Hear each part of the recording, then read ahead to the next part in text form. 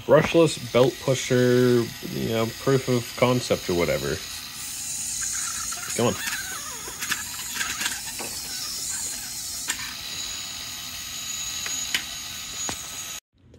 Another attempt with the belt pusher.